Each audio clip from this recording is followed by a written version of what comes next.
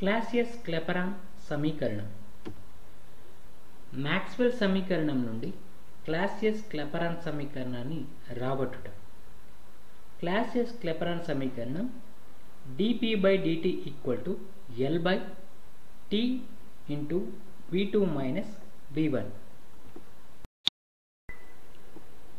Maxwell సమీకరణాల నుండి ఒక సమీకరణం do yes by do V at t equal to do P by do T at వి ఈ సమీకరణాన్ని ఇరువైపులా టీతో గుణిస్తే అనగా టెంపరేచర్ ఉష్ణోగ్రతతో గుణిస్తే tea into do yes by do V at T equal to T into do P by do T at వి ఇక్కడ dQ equal to are do Q equal to T DS ఇక్కడ ప్రతిక్షేపిస్తే do queue by do V at T equal to T into do P by do tea at we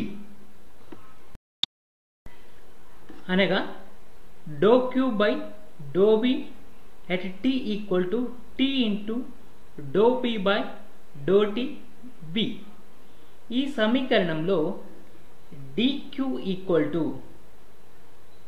capital L L అనేది గుప్తోష్ణము అనగా గుప్తోష్ణ నిర్వచనం ప్రకారం పదార్థం ఒక స్థిర ఉష్ణోగ్రత వద్ద స్థితి మార్పు చెందినప్పుడు అది గ్రహించిన లేదా విసర్జించిన ఉష్ణ రాశిని గుప్తోష్ణం అంటారు.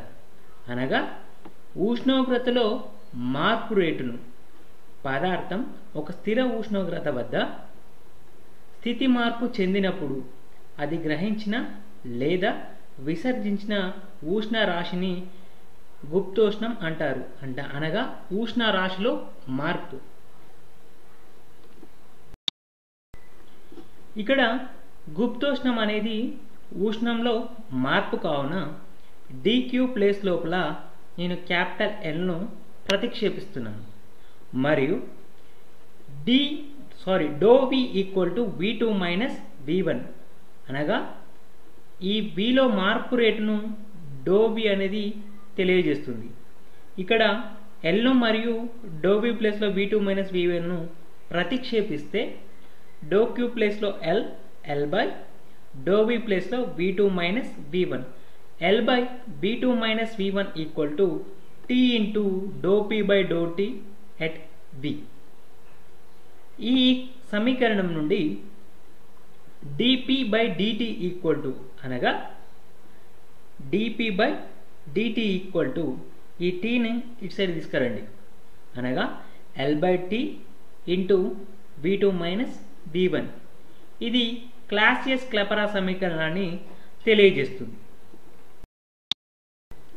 క్లాసియస్ క్లెపరా సమీకరణం ప్రాముఖ్యత. ఇది పీడనంతో ద్రవీభవన స్థానంలో మార్పును మరియు పీడనంతో బాష్పీభవన స్థానంలో మార్పును లెక్క కట్టవచ్చు. అనగా ఈ సమీకరణం ఆధారంగా పీడనంతో ద్రవీభవన స్థానంలో మార్పును మరియు పీడనంతో బాష్పీభవన స్థానంలో మార్పును లెక్క కట్టవచ్చు. నిజ జీవితంలో అనువర్తనాలు. ప్రెషర్ కుక్కర్ను ఉపయోగించి ఆహార పదార్థాలను త్వరగా ఉడికించడం మరియు మంచు పైన స్కేటింగ్ ఆట.